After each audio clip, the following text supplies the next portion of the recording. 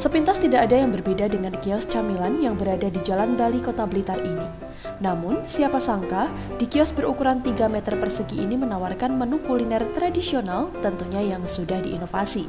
Menu andalannya adalah onde-onde dengan aneka rasa, mulai dari coklat, green tea, hingga keju. Pemiliknya adalah empat orang mahasiswa yang saat ini sedang duduk di bangku kuliah semester akhir.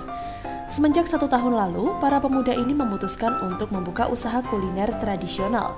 Alasannya adalah untuk melestarikan jajanan tradisional dan membuat kalangan muda tetap menyukai makanan zaman dulu. Dengan modal 8 juta hasil dari patungan, empat pemuda itu mulai merintis usaha onde-onde kekiniannya. Semua resep pembuatan onde-onde ini juga mereka dapat dari salah satu orang tua mahasiswa yang berjualan kue tradisional. Tidak disangka, usaha kuliner mereka disambut baik oleh warga dan para pemuda. Bahkan kini, para mahasiswa ini bisa mendapatkan penghasilan hingga Rp400.000 dalam 6 jam saja. Modulnya yang masih jarang ya di sekitar. Mungkin yang ini lebih apa maksudnya lebih uh, menginovasi anak-anak muda untuk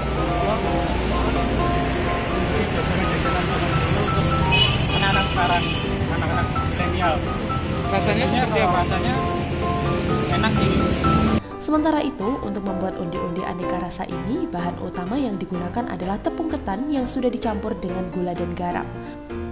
Untuk isi onde-onde akan diberikan keju atau coklat maupun green tea. Tidak lupa bagian luar onde-onde diberikan biji wijen agar lebih tampak cantik. Penggorengan juga dilakukan dengan api sedang agar onde-onde matang sempurna. Setelah itu, barulah onde-onde diangkat dan ditata serta diberikan topping sesuai permintaan konsumen.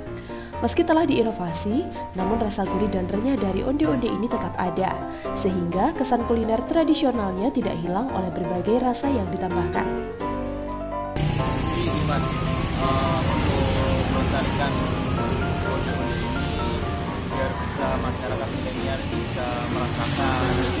Kita kasih inovasi yang dulunya itu onde-onde dalamnya ada kacang hijau kita kasih inovasi dalamnya ada coklat ada putih kalian ada toppingnya juga luar jadi untuk penikmatnya penikmatnya itu nggak cuma uh, kalangan menengah atau yang sudah berumur aja jadi untuk kalangan menengah atas menengah bisa satu porsi onde-onde aneka rasa ini dijual dengan harga Rp15.000. Di kedai Jonas ini, para pelanggan juga bisa mencampur dua rasa sekaligus dalam satu porsi onde-onde. Berkat keuletan dan ketekunan empat mahasiswa tersebut, kini mereka bisa membiayai kuliahnya secara mandiri.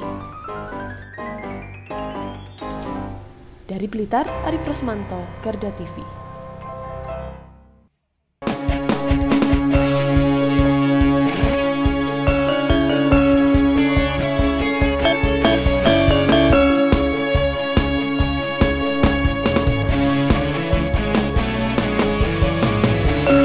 Revolution Rookie.